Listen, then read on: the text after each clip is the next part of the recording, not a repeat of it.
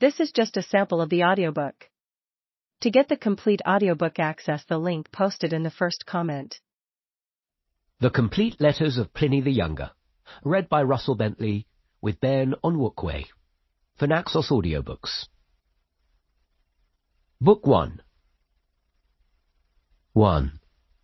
To Septicius Clarus You have constantly urged me to collect and publish the more accomplished of the letters that I may have written. I have made such a collection, but without preserving the order in which they were composed, as I was not writing a historical narrative. So I have taken them as they happened to come to hand. I can only hope that you will not have cause to regret the advice you gave, and that I shall not repent having followed it. For I shall set to work to recover such letters as have up to now been tossed on one side, and I shall not keep back any that I may write in the future. Farewell. 2. To Maturus Arrianus As I see that your arrival is likely to be later than I expected, I forward you the speech which I promised in an earlier letter.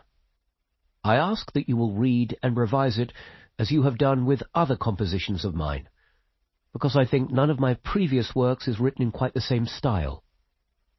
I have tried to imitate, at least in manner and turns of phrase, your old favourite Demosthenes, and Calvus, to whom I have recently taken a great fancy.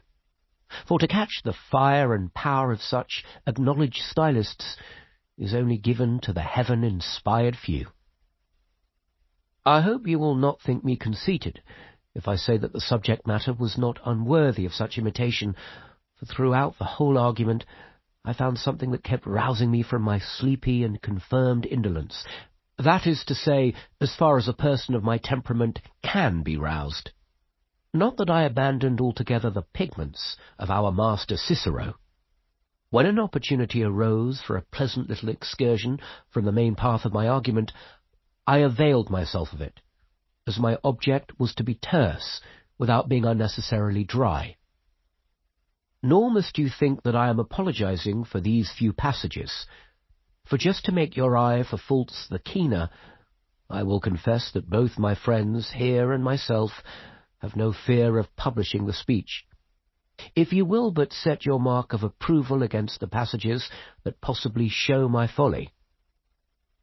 I must publish something, and I only hope that the best thing for the purpose may be this volume, which is ready finished.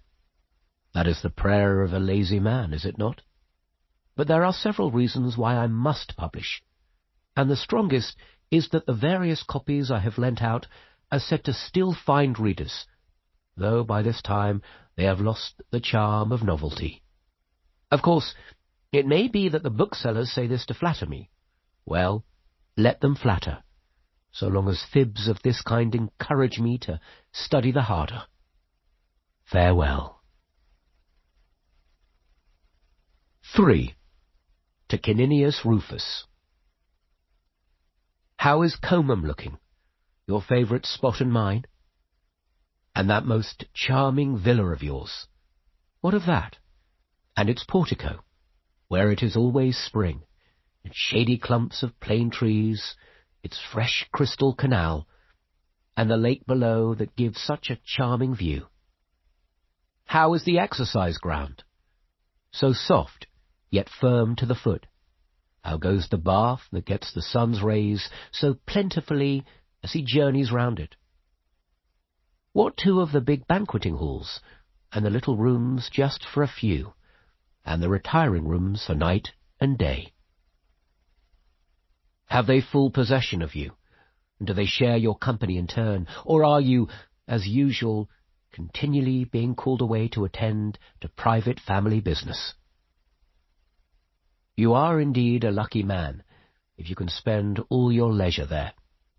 If you cannot, your case is that of most of us.